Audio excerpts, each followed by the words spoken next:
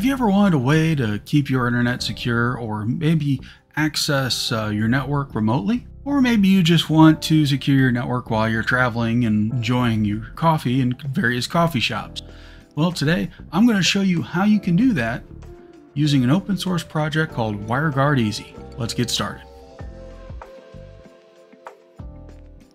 So as I mentioned on the outset, we're going to talk today about an open source program called WireGuard Easy.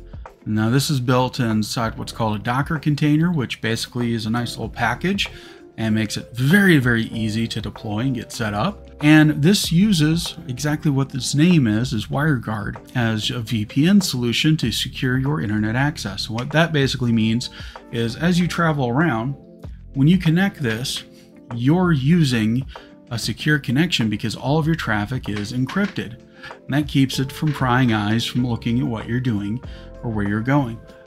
And the nice part about this is you don't need to rely on any company to set this up. You can do this all on your own. All you need is a spare computer or maybe a cloud resource account if you want to set it up in the cloud. Well, today we're going to set ours up actually in the cloud.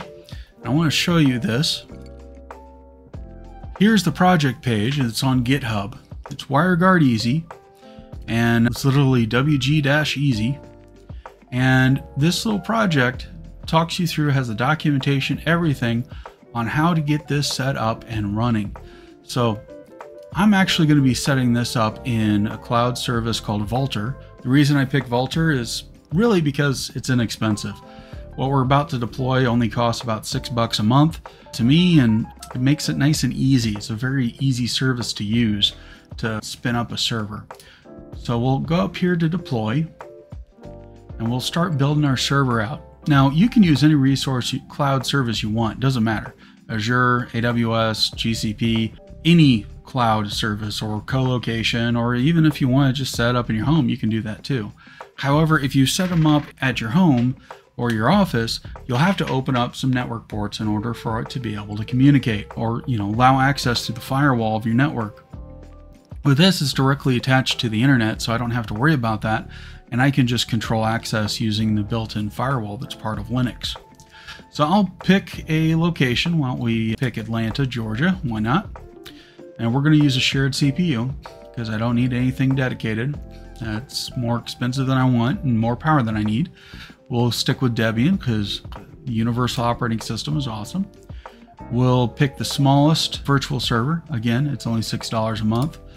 We don't need IPv6. I don't need backups because if this nukes, then it's easy enough for me to spin up a new one.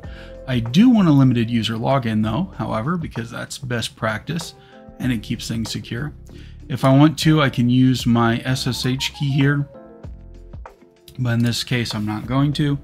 And then we'll just call this WireGuard Easy Test, just to make it uh, a simple deployment.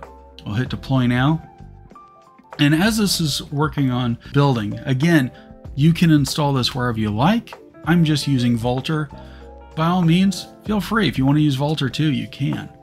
But if you've got this in another cloud service, you just follow whatever its recommended steps are in building your Linux server. You can also use just about any Linux version out there that you want. If you don't want to use Debian, you can use Ubuntu or Fedora or Red Hat or any of them. I just picked Debian because that's one of my favorites.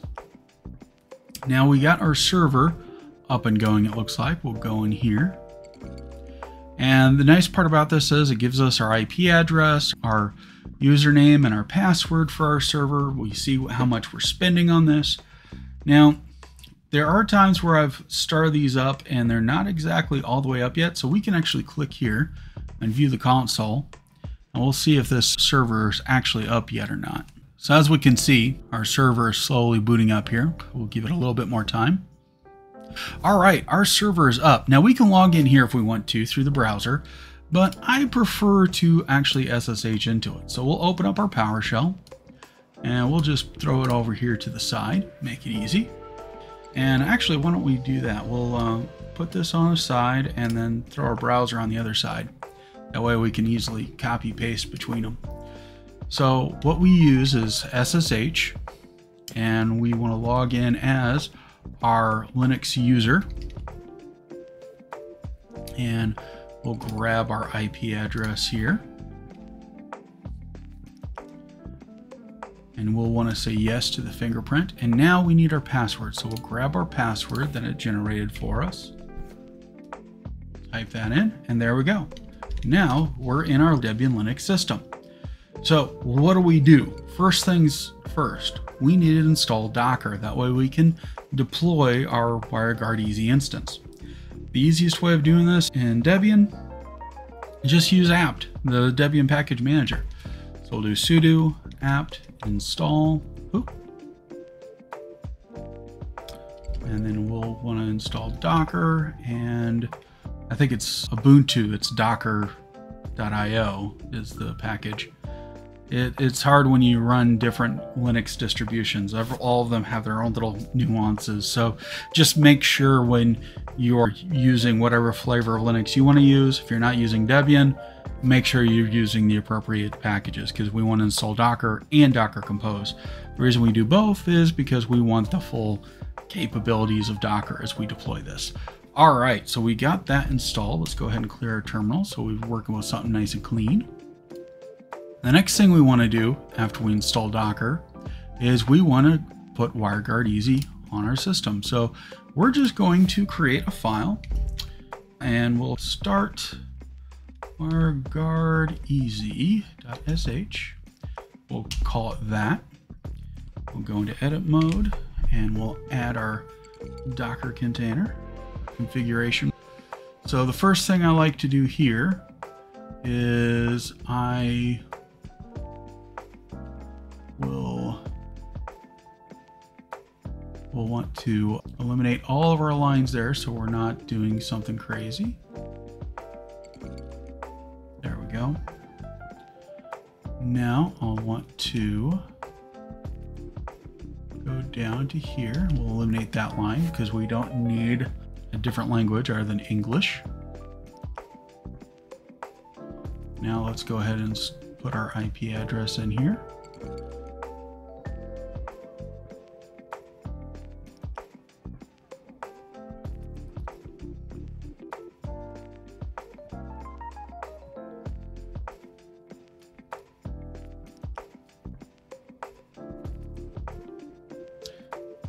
Now what we want to do here is we actually want to change this password hash. Now I've tried using the password hash method that they have documented here and I haven't been able to get it to work. So if you're watching this and you know how to get it to work, by all means, I'd love to hear your comments down below.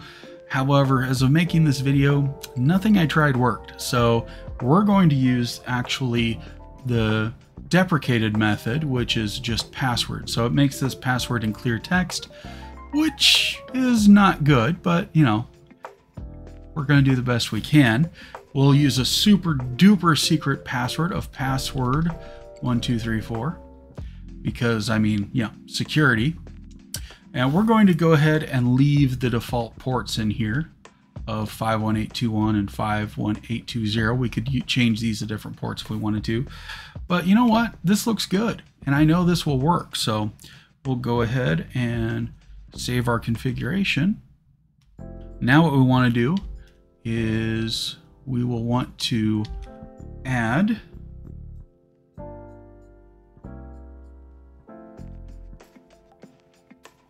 change use change mod and give our little script that we just built executing power and this is the first time we're running it we need to sudo dot forward slash start wireguard easy.sh let's launch it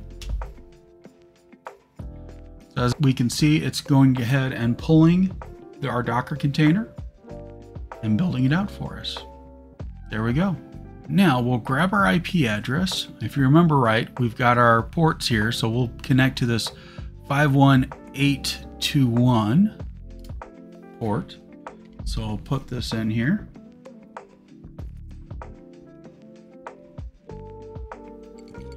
And here it is. Now it's asking us to log in for the very first time. And we'll put in our super secret password. And yay, we got logged in. Now this interface is very, very easy. To add a client, you simply click new client. We give it a name.